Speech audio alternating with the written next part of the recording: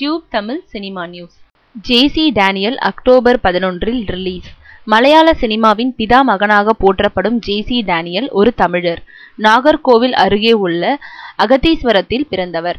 அந்த காலத்தில் புகழ்பெற்ற டாக்டராக இருந்த டேனியல் சினிமா இந்தியில் அறிமுகமான போது அதனை மலையாளத்தில் அறிமுகப்படுத்தினார். ஆயிரத்தி தொள்ளாயிரத்தி முப்பதாம் ஆண்டு அவர் இயக்கிய வித்தகுமாரன் என்ற மௌன படம்தான் மலையாள சினிமாவின் முதல் படம். ஆன்மீகத்திலும் சடங்கு சம்பிரதாயத்திலும் மூழ்கியிருந்த கேரள மக்கள் சினிமாவை கடுமையாக எதிர்த்தனர்.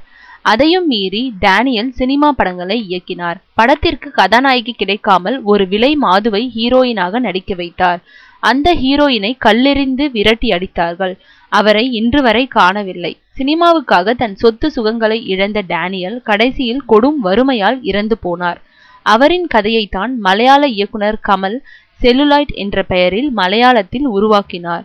கேரளாவில் வெற்றி பெற்ற இந்த படம் பல விருதுகளையும் குவித்தது. தற்போது இந்த படத்தை யோகராஜ் பாலசுப்ரமணியம் என்பவர் தமிழில் டப் செய்து வெளியிடுகிறார். படத்திற்கு ஜேசி டேனியல் என்று பெயர் வைத்திருக்கிறார்கள். பாடல்களை பழனி பாரதி எழுதியுள்ளார்.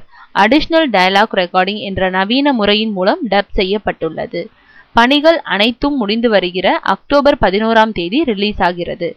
தமிழ்நாடு பெங்களூர் மலேசியா சிங்கப்பூர் மும்பையிலும் ரிலீஸ் செய்கிறார்கள்.